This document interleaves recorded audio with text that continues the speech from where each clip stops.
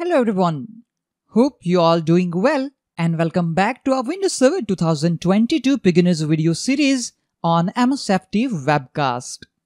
In this video, we will see the steps on how to create and manage OUs in Windows Server 2022 Active Directory. An organizational unit is a logical subgroup within Active Directory that you can use to organize objects and resources within Active Directory or control how they operate or are impacted by using group policies. In addition, you can configure security settings on your OUs so that a subset of management permissions are assigned to a user or group on that OU and therefore objects within that OU. This is known as OU delegation. Before you proceed to create new OUs in your domain, you should take some time to plan an appropriate OU structure.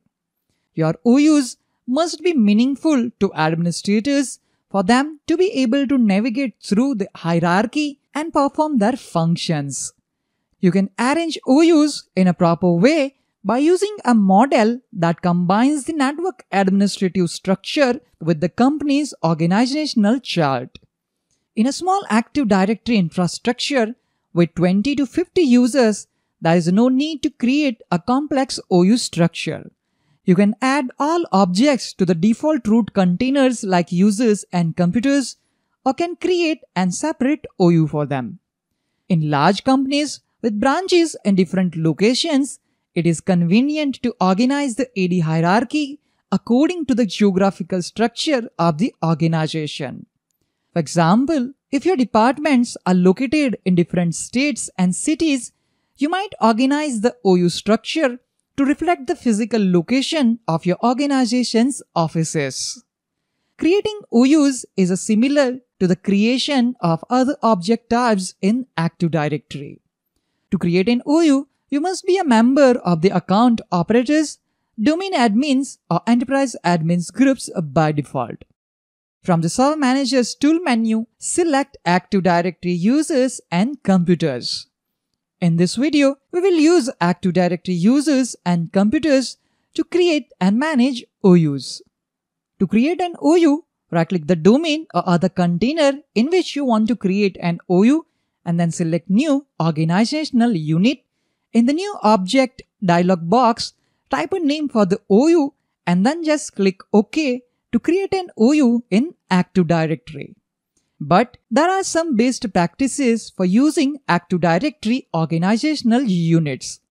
Think about how you want to organize your users, computers, and other objects.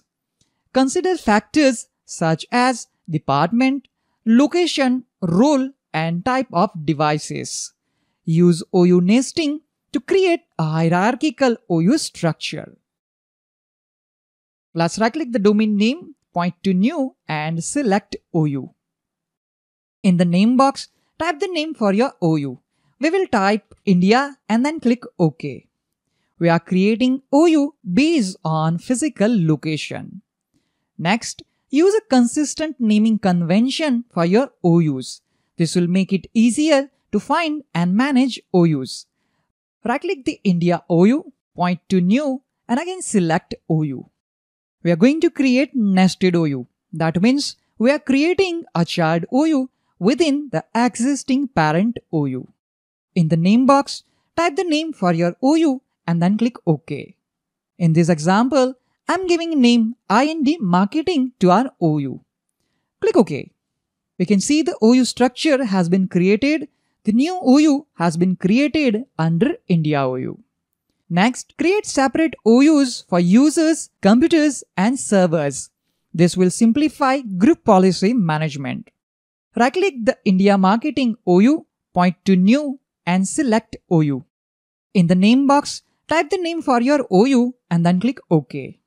In our example, I'm typing name IND-marketing users. Click OK to create another child OU. The OU has been created successfully under IND marketing. Let's create another OU. Once you create your OUs, make sure you document your OU structure. This will help you and other administrators to understand how your OUs are organized and how they are used. After you have created new OUs, it is easy to move objects such as users, computers, and groups to the new OU. Simply drag the required objects in Active Directory users and computers or Active Directory Administrative Center to the appropriate location. You can also right click an object and select Move option. Select the desired destination in the Move dialog box and then click OK to move the particular object to the OU. Click on Users Container. I have already created one user for testing purpose.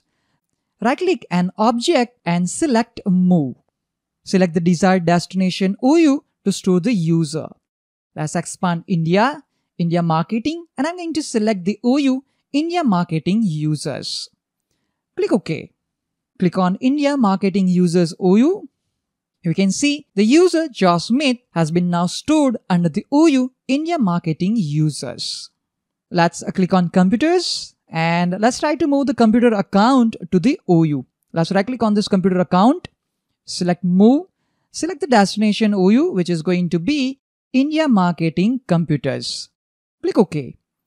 Click on India Marketing Computers and we can confirm that computer account is also moved to the destination OU. So the process to move users and computers are very easy to follow. But how we can move an existing OU from one location to another location? For that, let's create an OU by clicking on the new OU option from top menu. Let's type the name of this OU, ind-sales. Click OK. The OU India sales has been created successfully. But we have created the OU under the wrong parent OU. We have created India sales OU under India Marketing Computers. Actually wanted to create the OU under India OU. So let's see the steps to move an existing OU. Right click an OU and select Move. Select the desired destination in the Move dialog box and then click OK. In this example, we want to store under India OU. Click OK and wait for an error message.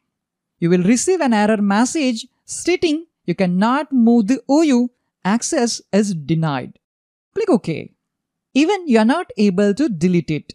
Right click and India Sales OU and select a delete. Click on yes. You will receive an error stating you do not have sufficient privileges to delete the OU or the OU is protected from accidental deletion.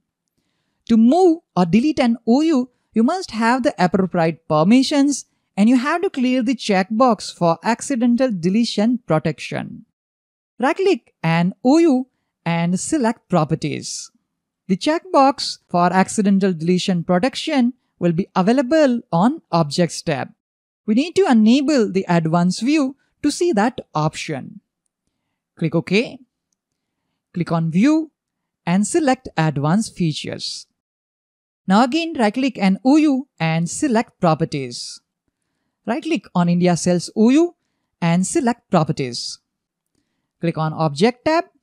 Clear the checkbox Protect Object from Accidental Deletion.